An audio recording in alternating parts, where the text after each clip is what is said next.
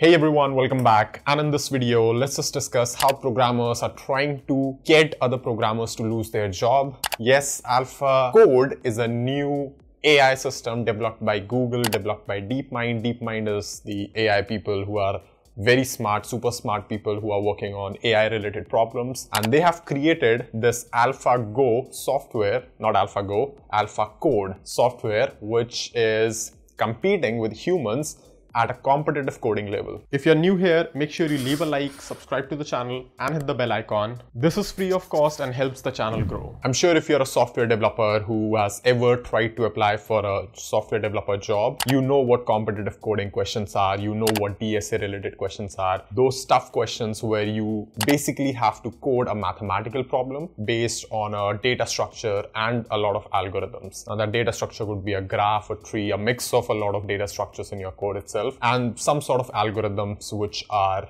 optimized in a way that runs in a particular constrained memory and time constraints, right? So this new software which DeepMind has released, this new AI is Alpha Code. And what they are saying is that this Alpha Code is as good as an average human programmer.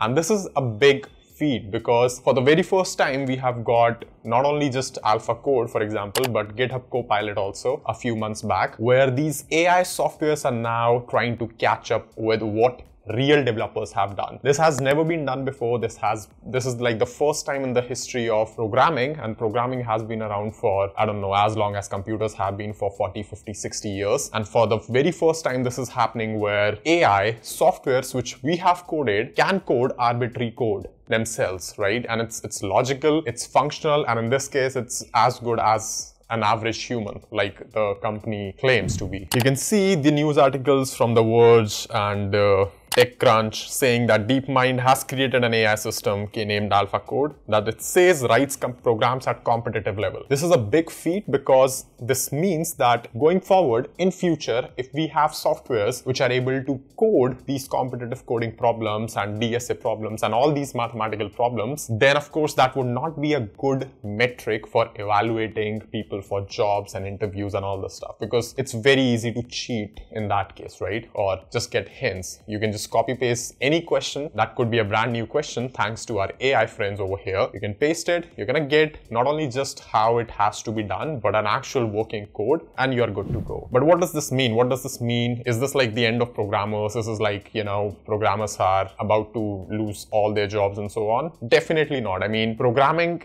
is one of the jobs which I believe and I'm definitely 99.9% sure is the last job which would go out of the picture. It could be trucks, it could be, you know, shops, it could be firefighters, it could be governments, it could be even, you know, pretty much anything you can imagine that would go out of jobs. But programming would be the last job which would go out simply because that is the fundamental basis of how these AI systems are working itself. So as long as they don't figure out how to program themselves and even get better at it, even be able to debug, fix and all that stuff, which is at that point we probably have reached AGI, but until that happens, some sort of programming form would definitely be there. Now, would that mean that every single form of programming which we do right now would be there? Definitely not. I mean, like we see in terms of programming itself, how the themes change over the year, how the tech change over the years.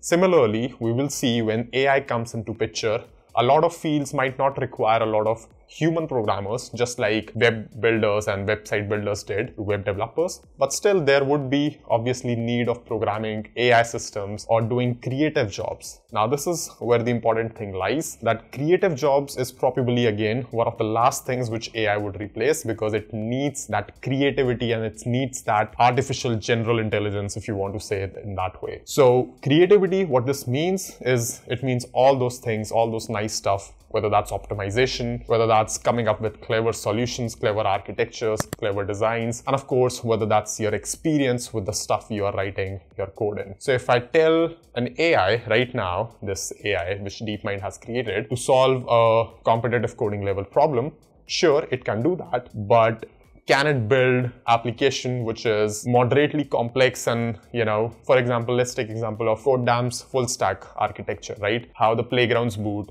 how it connects to the front end, how the whole architecture is laid out on AWS, how different services are used. So coming up with the full plan, then also writing code for it, definitely, I mean, I can bet on my life that's not going to happen in the next five to 10 years. I mean, hopefully.